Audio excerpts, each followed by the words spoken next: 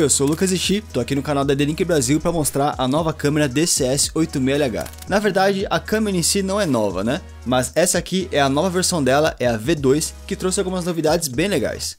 Por exemplo, na primeira versão da 86LH, a resolução dela era apenas HD, e agora, na V2, a resolução já é Full HD, ou seja, você tem uma definição de imagem muito melhor. Sem contar que a lente mudou também, antes o ângulo de visão era de apenas 120 graus e agora ela consegue enxergar 140 graus. E isso basicamente significa que na imagem da câmera você vai conseguir captar uma área bem maior do seu ambiente. Sem contar que agora também existe uma inteligência artificial dentro da câmera que consegue identificar humanos, por exemplo. Ou você pode até limitar para que a câmera apenas detecte movimento em algumas áreas em específico, como janelas, portas ou áreas pré-configuradas por você.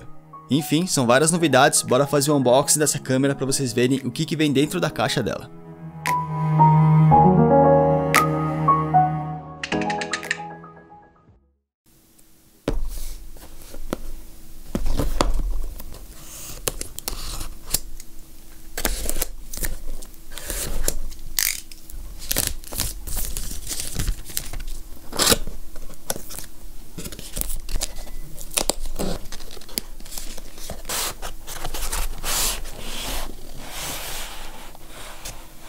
E bom, dentro da caixa vieram os documentos, os manuais, e logo de cara você vai encontrar ela, a DCS-86LH V2.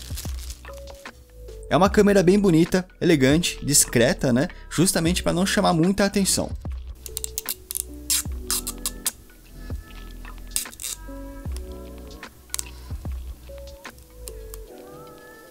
Você vai reparar que na parte da frente tem a lente grande angular dela, um LED infravermelho para enxergar no escuro em até 5 metros, sensores de movimento e também um microfone para ouvir o que está acontecendo no ambiente. Na parte de trás tem a entrada micro USB para energia, na parte de cima tem um logo da D-Link estampado e na parte de baixo o código QR para fazer a configuração dela. Além da câmera em si, veio também a base para caso você queira deixá-la presa na parede e o seu kit de montagem inclusive com os parafusos e buchas.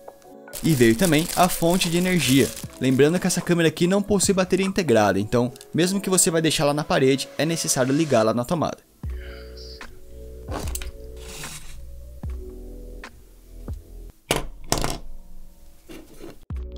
E claro, você pode deixá-la em cima de mesas também, que ela tem pezinhos de borracha para ficar de pé. Então, assim que você arrumar um espacinho para ela, é só ligá-la pela fonte de energia que veio junto e baixar o aplicativo MyDelink. Toda a configuração é feita por esse aplicativo, então baixe ele em seu smartphone e vamos fazer a configuração juntos agora. Bom, a configuração é bastante fácil, estou com o aplicativo MyDelink aberto aqui já. No aplicativo em si, primeiramente você vai ter criado a sua conta e depois é só vir aqui e clicar em adicionar dispositivo. E o próximo passo é você ler o QR Code que está debaixo da câmera. Então se você clicar em digitalização, ele vai permitir que você consiga ler o QR Code que está na etiqueta na parte de baixo. E agora, nesse momento, basta conferir e ver se sua câmera está piscando no LED laranja. Se estiver, é só clicar em avançar. Legal, aqui temos duas opções. A câmera DCS-86LH-V2 vai ser conectada em alguma rede Wi-Fi. Automaticamente o aplicativo ele sugere para que você conecte a câmera na mesma rede Wi-Fi que você está conectado. E se você quiser manter dessa forma, é só clicar em OK. Mas vamos supor que você quer conectar a sua câmera em uma outra rede Wi-Fi na qual o seu smartphone não está conectado nesse momento. É só você clicar na opção Não, eu não quero conectar-me a esta rede. Que então ele vai pesquisar as redes Wi-Fi disponíveis no ambiente para que você selecione uma e conecte a sua câmera.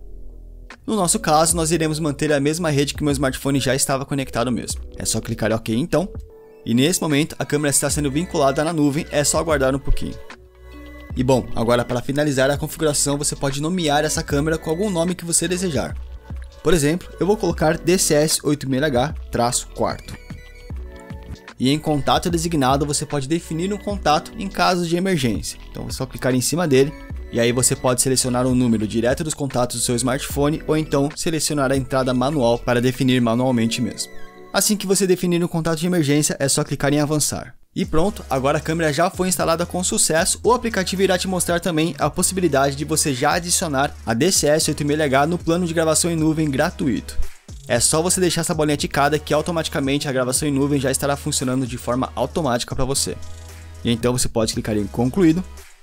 Existem várias regras de automação que você pode criar dentro do aplicativo, mas na primeira configuração, o próprio aplicativo já cria uma automática para você. Nessa primeira regra criada automaticamente na primeira configuração, basicamente ele vai fazer o seguinte: sempre que a câmera detectar uma pessoa na frente dela, ela vai, primeiro, gravar um vídeo e deixar armazenado na nuvem para você ver quem era essa pessoa, e segundo, te avisar no smartphone através de uma notificação por push.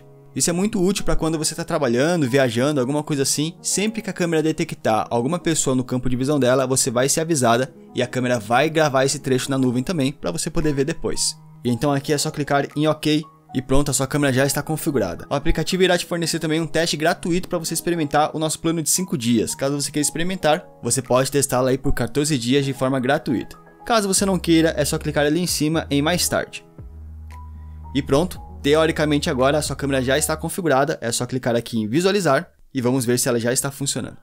E é isso. Estamos vendo em tempo real a imagem da câmera DCS 86H V2.